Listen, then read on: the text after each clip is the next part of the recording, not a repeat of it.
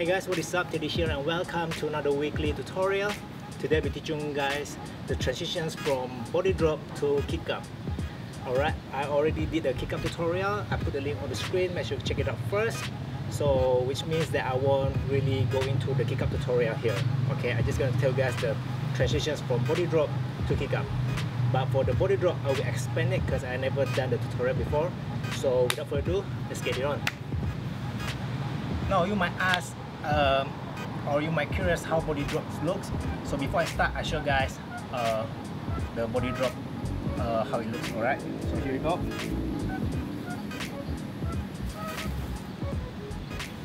Okay, one more time.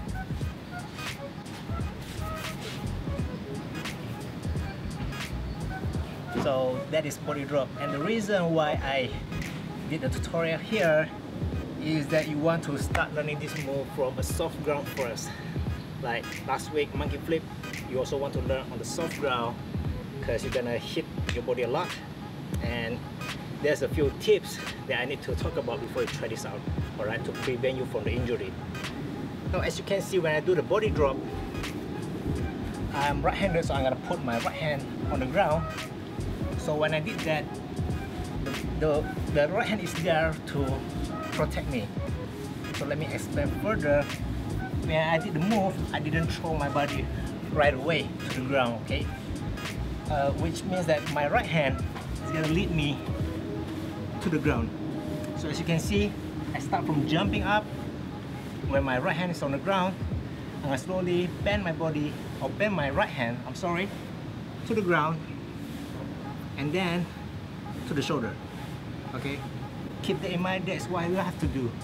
You shouldn't just throw your body immediately. I'm guarantee you hurt yourself. Again if you're right-handed like me put your right hand on the ground down to your right elbow and then drop to your right shoulder. Another key thing to prevent the injury is to make sure that you jump higher and drop higher. I know it sounds uh, scarier than it, seems, but it is true. Like if you already learn windmill, you know that when you do windmill, you want to drop at the back here, okay, not here, because you will injure yourself if you drop here. It's very dangerous here, especially this part here, because you know you want to prevent that. This is same thing. You want to drop as high as possible, but make sure that you didn't hit your head on the ground, okay? Again, so let's try two things to remember. Jump your hands gonna lead you to the ground and then uh, drop on the ground with uh, as high as you can.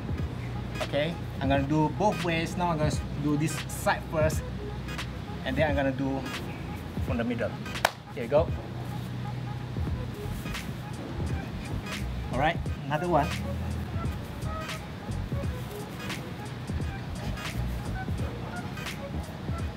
first try out it's kind of scary but when you already get used to it it's pretty easy. You just make sure you learn on something soft like grass or even anywhere that you feel comfortable. Now for the kick up part when you're already done with the backdrop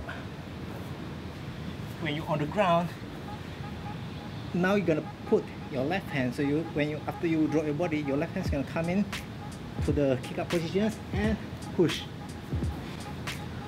So like I said in the first intro of the video I won't go deep into kick up because I already did the tutorial. Alright so you check you might want to check it out first.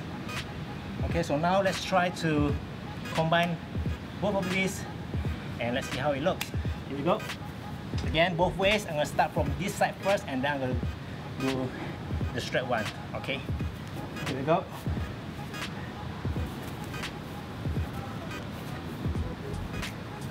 From this position. Right hand down.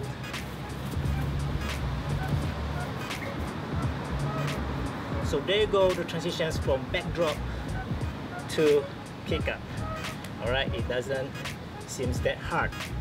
The one thing that you want to uh, the one thing that makes it hard personally I think is the to get rid of the fear itself alright? So just do what I say what I told you guys earlier and you should be fine.